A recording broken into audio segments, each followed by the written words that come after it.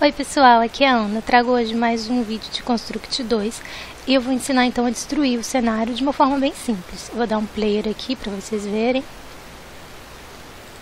Olha, é isso aqui que eu vou ensinar, tá? É uma forma bem simples. Vou dar um pause aqui então para abrir um projeto novo. Bom, voltei então, já estou aqui com um projetinho novo, todo em branco, tá? Vamos começar então, é bem simples. Primeiro, eu vou inserir aqui um fundo, um sprite, que é o meu céu, tá? Só arrumar o tamanho aqui. Eu vou dar o nome dele de céu mesmo. Agora eu vou inserir um novo objeto e eu vou inserir um canvas. É, eu já ensinei naquele vídeo que eu fiz o que eu ensinei como que faz um paint, a como você baixar esse plugin Canvas, tá? Eu vou deixar o link para aquele vídeo na descrição aqui, aí você vê lá como é que você baixa o Canvas. Então eu vou adicionar um Canvas aqui, assim, em branco. Em branco não, transparente, tá? Olha. E eu vou é, aumentar ele aqui para o tamanho todinho do meu layout aqui, ó, tá? Prontinho. Então lá atrás está o, tá o meu céu e aqui na frente está o canvas. Agora eu vou criar outro sprite aqui com aqui a terra, o, o chão aqui, né? Vou só ajeitar aqui o tamanho. Pronto. E vou colocar o nome dele também de terra, tá? Agora, a gente vai criar outro sprite que vai ser, você escolhe uma cor qualquer aqui, vê se, bota o alfa 255, é, o hardness 100 e você cria aqui um ponto, ó. Vou dar um crop, tá? É só um ponto mesmo, assim, tá? E aí aqui, nesse objeto aqui, eu vou botar o nome dele de ponto. E aqui nesse Blend Mod, você muda para Destination Out, tá? E você vai deixar ele invisível. Aqui tá visível, invisível. Beleza? Tá. Agora a gente vai criar uma partícula. Criar aqui partícula. É, aqui também vai ser um ponto assim, só que a cor dela vai ser um marrom, porque é a cor aqui do meu chão aqui. Então eu vou tentar achar, pegar um marrom aqui, mais ou menos. Mais escuro, está bom. Ó, tá? Só um, um ponto é, marrom. Aqui na nossa partícula, a gente tem que mudar alguma coisa aqui, ó. Esse rate aqui, que é a quantidade de, de partícula né, que vai sair, eu acho 50 muito, eu vou colocar 40. O spray cone é esse ângulo aqui, é onde vai sair.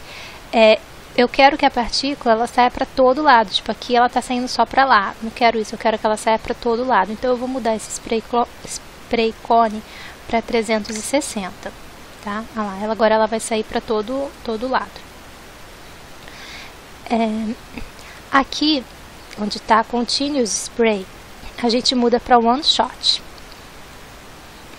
Que eu não quero que ela fique, aquela partícula contínua, né? Aqui, então, na velocidade, Speed, eu vou colocar 150 o tamanho, eu vou colocar no meu, eu vou coloquei 5, porque eu acho que ficou um tamanho legal. Se você achar que está muito pequenininho, você vai aumentando aqui. É, a opacidade pode ser 100 mesmo. Aqui, esse X Randomizer, você coloca 5. E aqui também 5. A aceleração você coloca 0. E a gravidade você bota 150.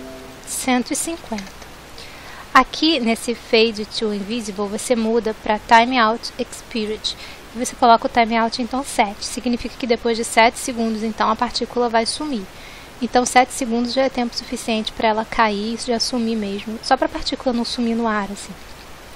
Bom, então aqui está pronto. Tira aqui a partícula da, da frente do layout, bota ela aqui do lado e vamos então para a folha de eventos.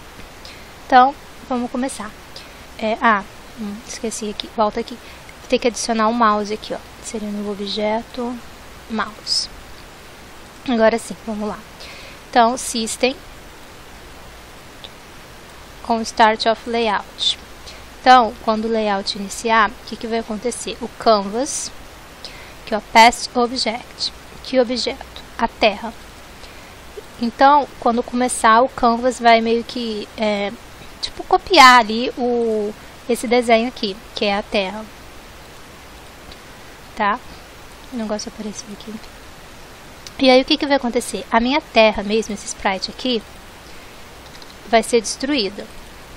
E a partícula também vai ser destruída. Eu vou colocar aqui logo de início a partícula não vai estar tá tendo partícula, então ela está destruída. Agora aqui adicionar outro evento, System Evertick. Então, é, a todo momento, o que, que vai acontecer? Aquele meu ponto lá, ele vai ter a posição do mouse. Então, aqui ó, set position, mouse.x mouse.y, tá? E a minha partícula também, boto partícula, set position, mouse.x, mouse.y, tá? Então, a todo momento, tanto esse ponto aqui quanto a partícula vão dar vão estar tá na posição do mouse. E como esse ponto está invisível, não vai aparecer, não vai ficar esse negócio preto rodando aqui, vai ficar é, invisível. Agora, é, adicionar outro evento do mouse, aqui on object clicked. Que objeto? É, o objeto canvas, tá? Então, quando eu clicar no canvas, lembrando que o canvas é isso tudo aqui, ó, tá, né? Ele tá pegando tudo, ó. Então, quando eu clicar no objeto Canvas, é, o que, que vai acontecer? O Canvas, Past Object, que objeto? Objeto ponto, tá? E o meu ponto vai aqui, ó, spawn another object. Que objeto? É meu objeto partícula. Olha lá, tá? Então, Vou, vou mudar um player aqui, deixa eu só botar aqui. Vou mudar um player.